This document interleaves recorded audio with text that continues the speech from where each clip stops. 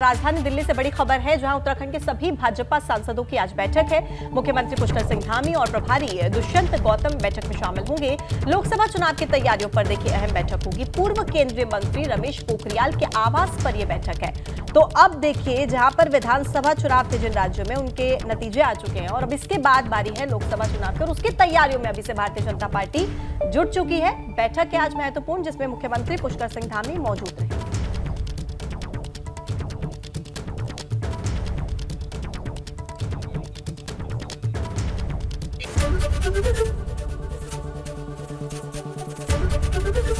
ABP Ganga खबर आपकी जुबा आपकी।